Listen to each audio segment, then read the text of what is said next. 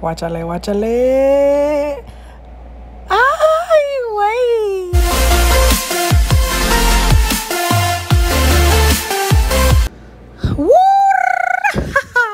Is that racist? I'm Mexican, so it's all right. But here you guys see it first.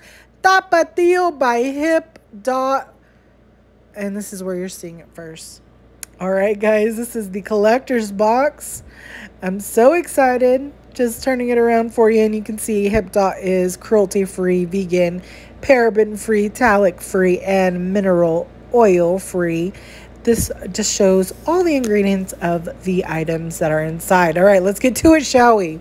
All right, look at this beauty. Like, it is spicy caliente in red. All right, guys, so I'm going to show you these lip glosses. So cute. Look how little they are. Honestly, I needed this collector's box just because of the lip glosses. But I'm going to go through and show you every item that is in this collector's box. So first, you see here the palette.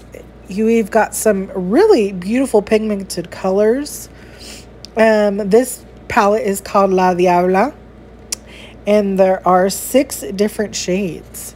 This next palette I have here, look at that color Fuego. Ooh, that glitter, yes.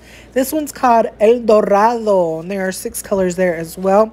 Y'all, okay, I opened up this little salsa because I need to know if they really put some tapatio up in here.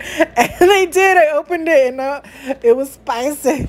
Um, look at this. So, so cute sponge. I'm so excited to use it. It's red and it says tapatio on it as well.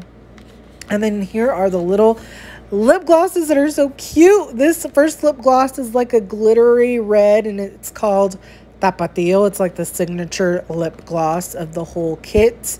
The next one is this um, red color, if my fingers would go faster. And this one is called Spicy. And y'all, that tapatio is spicy. um, this next one I have is called Natural. I wish they would have did something funner with it, like called it Limonada or Agua Fresca or something cool, but they didn't. Um, this next one is this deep red. It looks like it has a little shimmer to it.